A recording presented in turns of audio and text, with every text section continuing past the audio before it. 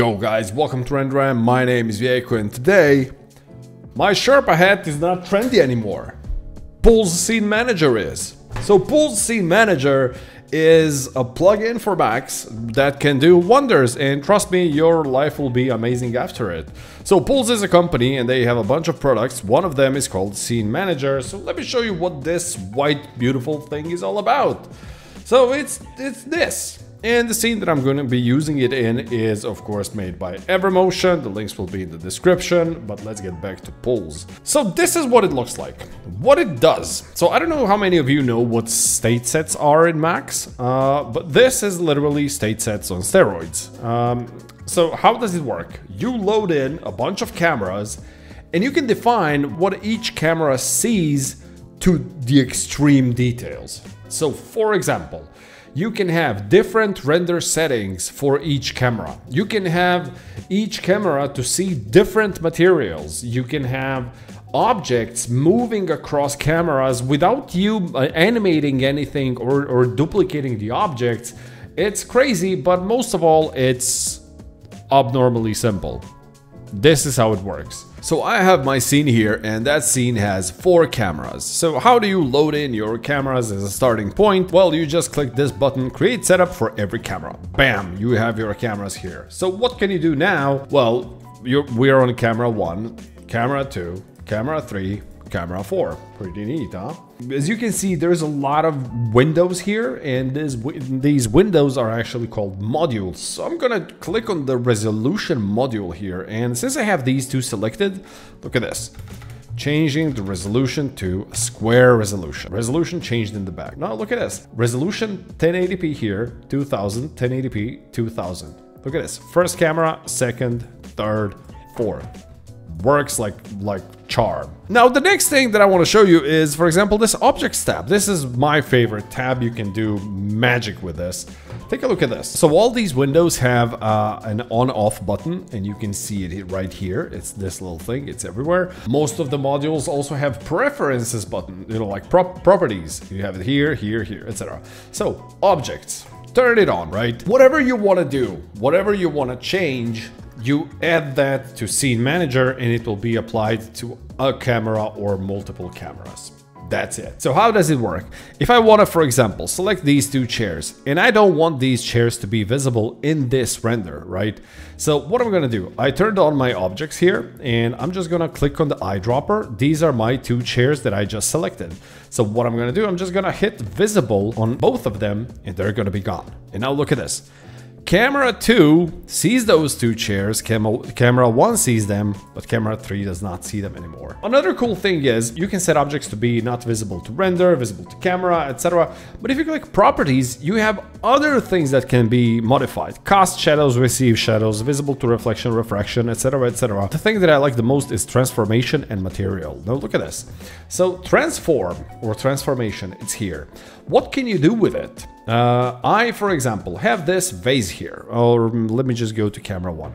I have this vase here, and for this shot, I need it here, but for my next shot, I need it, let's say, on the counter. So what I'm gonna do is you select the vase, you click it here in the objects, it's here, and just click on the eyedropper on the transform. And notice how the icon will change to this little kind of like spinny spinny icon.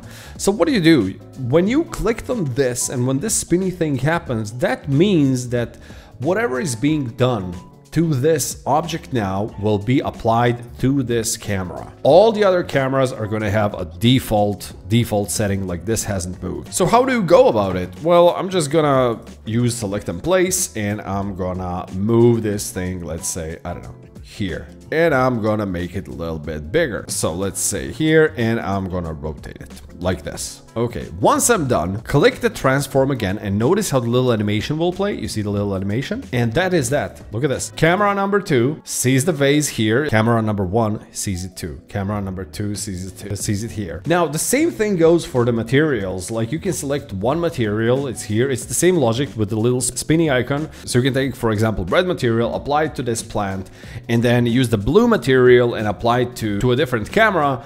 And when you switch between those two cameras, the colors will shift. This is very useful for people doing product renderings because if you have a product that you are, you know, doing renders of and that product comes in 10 different colors, you can literally assign a different material to each camera's, you know, like state set and it will change. You just select, you know, your cameras and all those colors will shift every time. Other things can also do magic. Layers, for example, you can select, you know, I don't know, uh, your camera 3 and uh, let's say you select these layers. Click the eyedropper, you got them all here and you can, for example, make them not visible for the camera 3. You know, in the camera 4 or in the camera 1, they're all here, but in the camera 3, they're not.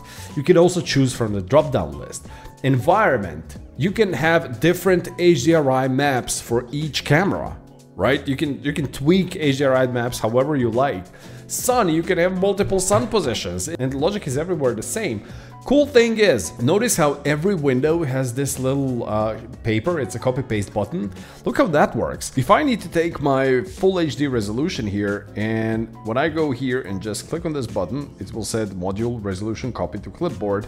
I can then select 2000 versions and I can click the copy paste button again and just hit paste and as you can see all of them change the resolution to the 1080p. And that's it. The icons that you see on the left the coloring represent all the little modules that are open. So for example, if I'm if I click this one, the sun will disappear because this is the sun.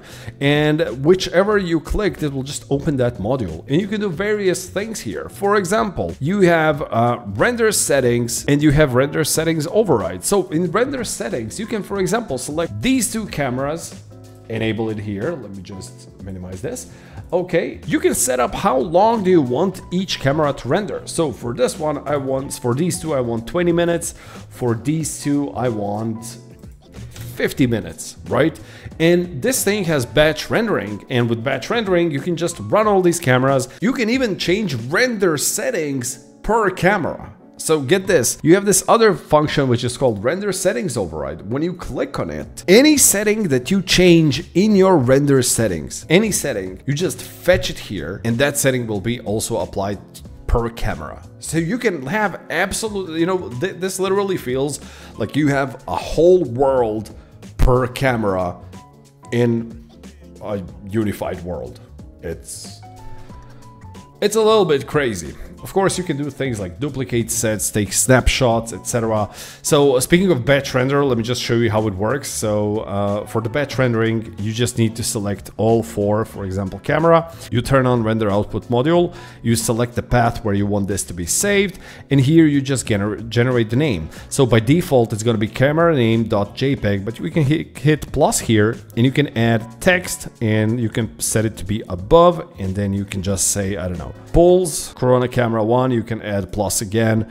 And here I'm gonna use, I don't know, text again and just gonna say render RAM. And that's it. So now you generated the path and how does the batch rendering work? You just select all your cameras and you just hit batch render and it will just start rendering everything. Now speaking of other features, you see, this is the thing, the logic is everywhere the same. You have the eyedropper, you have the little sp spinny thingy, or you have the eye, and everything else is manipulative. You can change stuff like, in Corona for example, you, you can change stuff like light mix. You can have a different light mix settings that will be remembered per each camera. Everything will be preserved. You can even, you know, uh, affect the atmospherics, uh, render settings that, uh, that I showed before. It, it's just crazy. And uh, you know, if you have, for example, a, a, a, special, you know, render farm need or something, you can convert this Pulze thing into Max's, you know, built-in batch render dialog, and from there you can start rendering it everywhere. Uh, another cool feature is this import-export button. Let me just cover that. So import-export literally means you and your friend are working on a scene. He's doing the modeling, preparing the scene. You are preparing a bunch of stuff, but among those bunch of stuffs, you are preparing Pulze, you know, this whole Pulze setup. And once you're done, you just click on export and what this will do, it will export the max file that is, so only the objects that are affected by Pulze and when your friend imports it into his max, he's gonna have full Pulze set up and everything will work.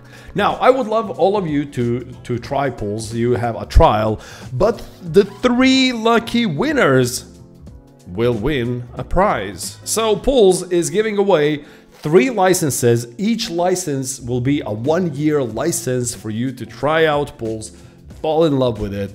Uh, so, this is a giveaway. There are some rules on how you can win. Three prizes.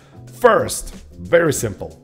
Whoever sends an email the fastest to renderram.cgi at gmail.com wins a license. Like first finger license is yours. If you if you don't know what my email is, just go to the about of the channel and you can you can read the email there. Uh, second, whoever writes the most funniest joke in the comment section wins the license. And I'll be reading those those comments and we're all gonna have a laugh uh, in two weeks and we will know who the winner is.